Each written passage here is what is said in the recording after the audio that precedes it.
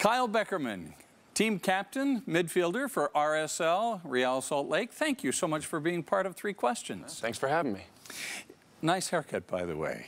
Thank you. You cut your dreadlocks a little while ago. Tell us why that happened. I mean, they were iconic. Why did you wind up cutting them off?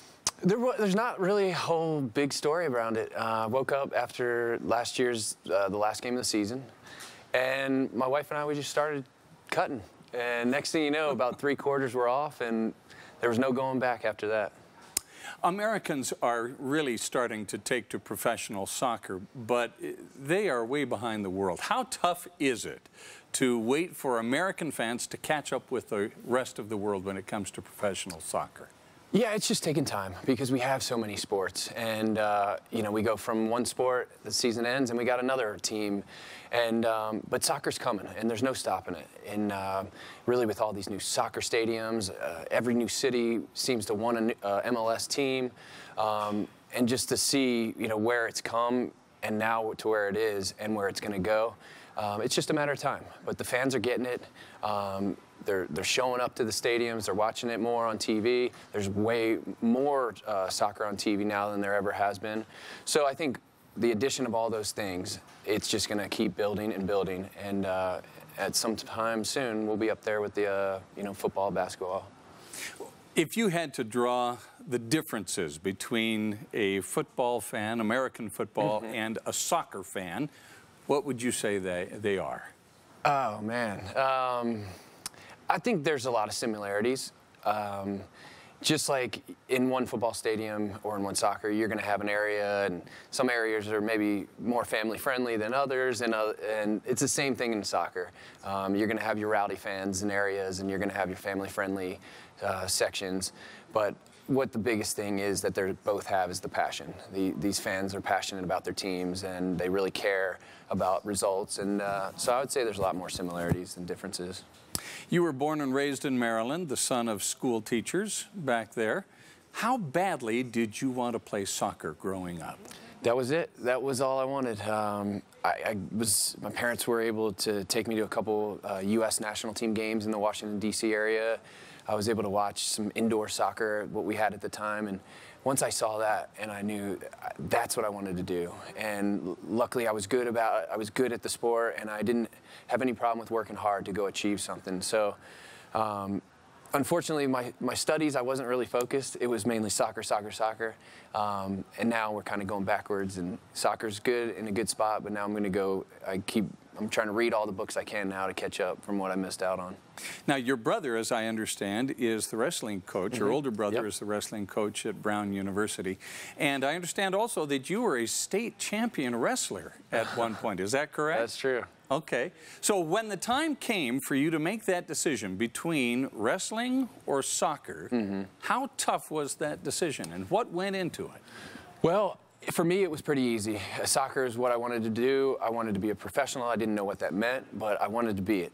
And there actually came a time where there was, you know, the, both sports were coming and they were going to collide. And I think I was in the semifinals of a, a state tournament, and it was, or either that or I had to go and leave the tournament to go try out for a soccer team. And it was in my mind, I'm out. I'm going to soccer. My mom took me. My dad said, What are you doing? You're in the semifinals of the tournament. But it was in my mind. I was set, ready. Uh, and that was kind of the first time where it kind of split, where I took sides. And was that in high school or This was, was in middle school. Middle mm-hmm. school? Yeah, yeah. So that was kind of the start of it. And then um, it just continued there to kind of separate from wrestling. Now, growing up, you were a part of the Bradenton Soccer Academy. And then uh, now with the Zions Bank Real mm-hmm. Academy mm -hmm. going, how important is a soccer academy to young players coming up who want to play professionally, and what does it ultimately mean to the fans? Well, that's a good question, and it's uh, for us. It was our way our national team was it was our way to get on the same level as these other countries because these other countries already had these academies with their club teams. So what we didn't have the club teams and the MLS wasn't as established as it is. So they said, okay, how do we keep them at the same level? So they put us down in Florida. We lived together, and it was the best we possibly could get in training and the way the studies were. And um, so now they've now gone through a process of that, but now every MLS team has these academies. And we're one of the only few that actually has the kids live together, go to school together. And so we kind of have an advantage in, in, in our club, which is great. And you see, we already have about five, six guys that are in with our team and starting and, and big, impactful players for us. And that all stemmed from them getting this professional environment at 15, 16, 17. So now when they come up to Real Salt Lake and they come to our preseason and they start playing with us, it's not a big deal because they're used to that professional environment. So that's kind of where it started, us in Bradenton, and now where it is now is you got these places like uh, what we have in Herriman. And what does all of this mean to the fans? For the fans, it just means you're going to have some homegrown players, which is great. You're going to have guys that grew up rooting for Real Salt Lake, and they live in the area, and now they have a chance to see their heroes, and then they become they get to become one, and that'll be so cool to see. You know, fans that this kid we've seen him when he was playing, and he was this you know he was really short kid, and now look at him, he's playing at Rio Tinto. So th- for the fans, it's going to be huge. It's going to be awesome to see you know local kids playing for Real Salt Lake.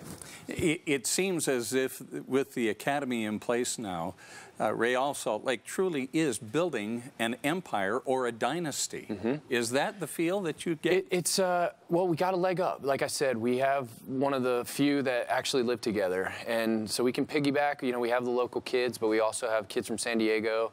Uh, who don't want to go up to the Galaxy or F, uh, LAFC because it's too far, so they come out here. Um, so it's a way to really kind of keep that bloodline coming through. And so as soon as you know, you're always going to have a new kid coming up. That's uh, and so it, it'll be just great for the team.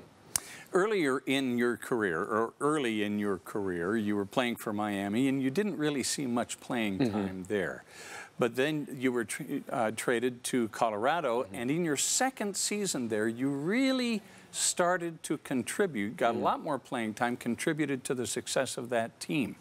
What was it that happened that turned the key for you there in Colorado that made you such a leader there, and then subsequently had you become a leader here in Salt Lake? Well, I think sometimes it just takes time, and um, you know, I got down to Miami, and um, the team was a, uh, was a bit more uh, veteran oriented. The coach, you know, at that time, he's, he has to win right now. He doesn't have time to see an 18 year old grow and become good. So. I just put my put my head down. I worked as hard as I could. I tried to soak up as much as I could from the older guys, see what they did good, see what they did bad, and then I knew when I did get my chance, I was going to run with it. And so when I got to Colorado, I got a little bit, some more minutes. And then that second year, you know, some of it's luck. You know, I think there was a couple players they brought in that didn't work out, and I'm still here. I'm still here. And so as soon as I got in there, I, I, just really wanted to, you know, just hold on to that spot and, and become a player that the coach when he goes to put his 11 starters, that I'm one of the first names he puts on the list, and just keep working on that, and then uh, you gain responsibility as you get older. There is a perfect storm that comes about in a professional athlete's career where their preparation, their talent, their work ethic all starts to come together. Did you recognize that in Colorado? And eh, what did that feel like for you when you realized that the stars were truly aligning for you? Yeah, I think what happens uh, as you as you get older and you get more games under your belt, I think it, the responsibility. Uh, you, you, take on more responsibility. So at the younger age, I'm only thinking of myself and how am I, am I going to be ready? How am I going to play? How did I play? And then as it gets older and I get more responsibility and I take on that, I now started to look what is my team? How's my team? Are they ready? Are the young guys are are they going to be ready to play? And and what can I do to help the team? And then you think of yourself, all right, I know I'm going to be all right. I'm going to be ready. And so that's kind of what happened. You kind of build into it that as you get older and you get more games, you have to take on more responsibility. And it's up to, you know, it's not just about your game, it's about what are you going to do to impact the whole team. So I just kind of continue with that. Now, the difference between real champions and everyone else is talent, work ethic, and attention to detail. Mm. In soccer, what does that look like? What does the talent and the work ethic and the attention to detail look like before you ever get to the playing field or to the stadium? Well, yeah, it's huge. I mean, a big part of it is the effort you put out and uh, reactions because soccer is a game of mistakes. There's going to be mistakes in the game, and it's what do you do when that happens? And now, if you have, um, you know, and so if you can, can instill that in practice every day, the reactions and the and the, the extra work you're doing off the field, and and you know, when practice is done, do you go and work on some shooting, or you go work on something in your position? Um, all those little things, and if you continue to do the, the right things every day and every day and every day, now when you get to the game it's just second nature. And those reactions when you make a mistake are the same for every single one. And and your guys are always trying to you know get to the same goal you know not just scoring but in, in a big sense of this is where we want to go. We want to be champions. So we got to put that every day and then the games will come out and we'll get it done and then ultimately the bigger goal will, will work out for us What is more valuable, talent or work ethic? Hmm. it's a good one. I mean, I, I gotta say you have to have both. But I think, you know, because you, you could be the most talented player in the world, but if you don't have that work ethic, you're, you're, you're, it's just not gonna happen. But again, if you just work, off, you know, you, work hard and you don't have any talent, you might have some problems too. So I'm gonna say you have to have both. Now, you've had your fair share of yellow and red cards Couple over, of your, them. Yeah. over your career. What is there a strategy that a team goes through?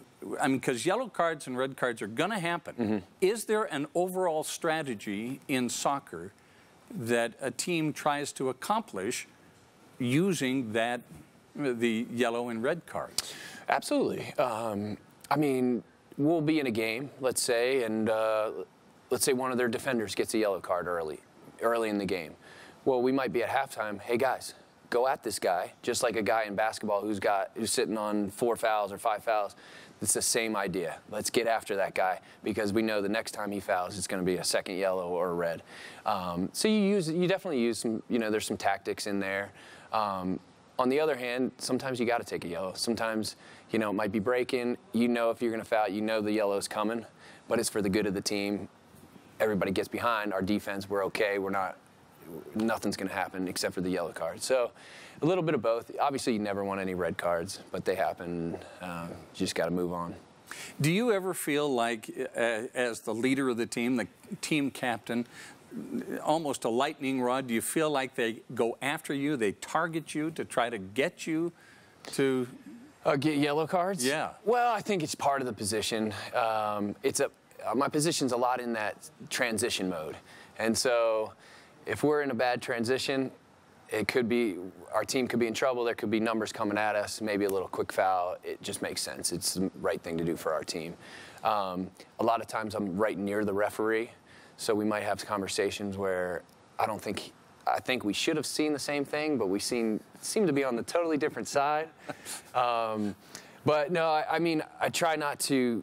If I could go a whole season without getting it one, I would, but it's just it's not happening. Well, and soccer is such an emotional game It is. too. I mean, it doesn't help to have the fans screaming Yeah. at the top of their lungs. No, it's a good point you say. I mean, it is very emotional, and a lot of the times, you know, we don't see it when you're watching, but everybody, we're breathing hard, we're tired, we're, we're our blood's pumping, and when you, you know, anything you try and do, when your blood's pumping, you're a little tired, you're a little cranky, and you know, things don't go your way, you're a little bit more cranky.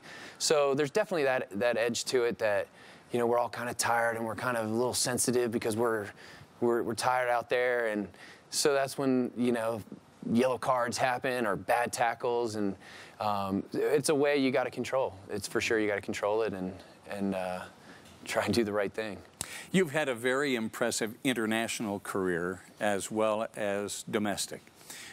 Where do you get more satisfaction, playing on the international stage or playing before the hometown crowd in Salt Lake? I like. I mean, they're both they're both amazing because the way I look at it, when I was playing international, I'm representing Real Salt Lake. I'm representing our state here, and that we got a guy on the national team. and He's repping, repping us, um, and that's a really fun thing, especially to get to play with the U.S. team at the Rio Tinto. That was something really special that I got to do a couple times. Um, but they're they're both huge. I think for me, the way I look at it with Real Salt Lake is I feel like we're always punching above our weight and we're trying to get respect. And, and you know, they look at us as a small market team, and I, and I want them, you know, I don't want them to look at us as, small, as a small market. I want to look at, well, they're good. That team in Utah is a good team. It doesn't matter if you're big or small. So I think we're always kind of fighting for respect here, um, which when we get on a roll and we're a good team, that brings a lot of pride to me. Um, but the international, of course, is you know it's a, a stage that's a, a, level above, and so if you can get some guys there and, and just be on that stage is really neat for both club and the country. You've played professional soccer for what 18, 19 years now, 11 years here in Salt Lake. Where do you want to go? What do you see yourself doing? How long do you want to keep playing? Well, I got uh, the contract for sure next year, so I'm excited to come back. Um, hopefully, we can finish off this season. Um, you never know going all the way. I'm not giving up hope.